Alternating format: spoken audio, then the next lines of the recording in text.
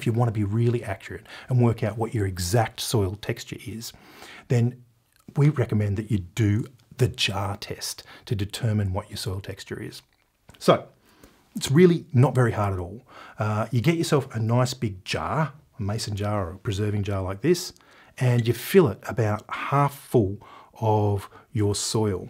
Now, it's not a bad idea if you pull out any rocks or any uh, big chunks of organic matter.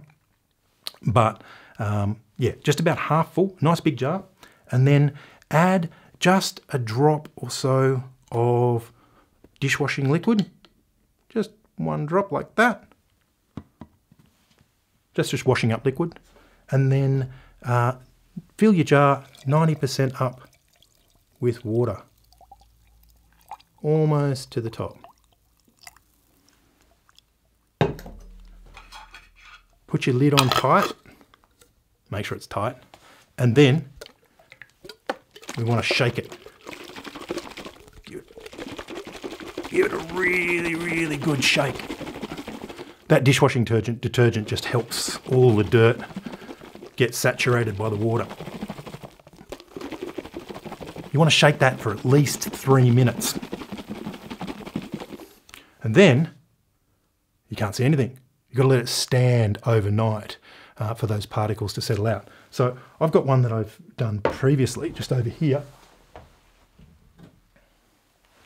And what you should be able to see in that is that all the different particles have started to settle out. Oh, camera comes into focus.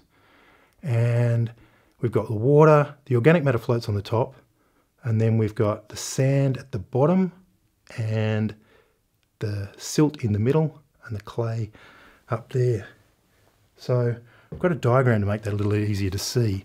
Um, so the first thing is the jar's full of water and the organic matter will float all the way to the top. Then the first thing to settle out, because it's the largest, heaviest particles, is the sand.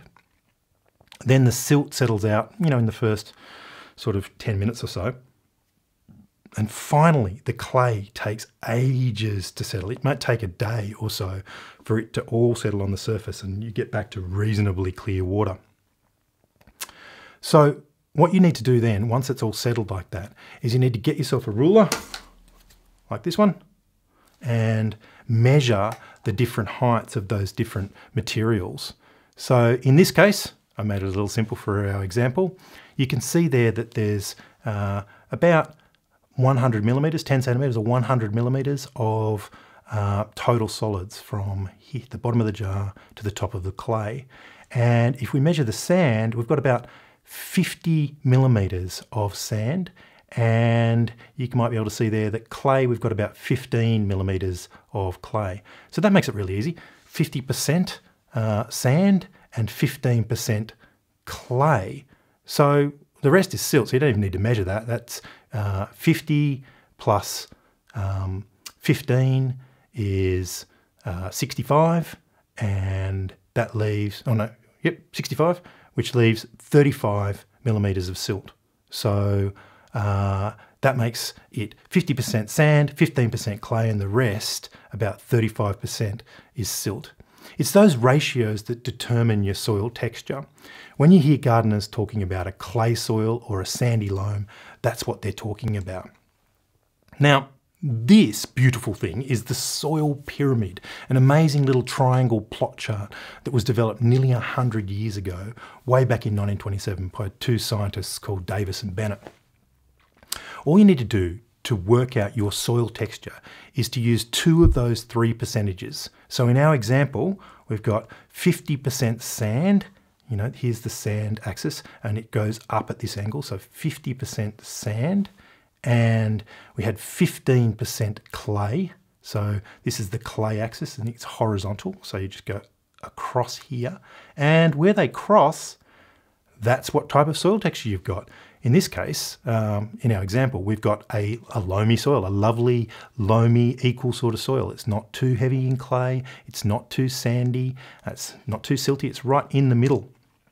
Um, we don't even need to calculate the 35% because it can't be anything else. So, bingo, we have a loam soil, lucky us. If your numbers aren't as neat as ours, and they won't be, then this can be a little complex to work out. So we've made a handy little online calculator where all you have to do is enter in the heights of each of the different layers and it plots your soil texture on this chart.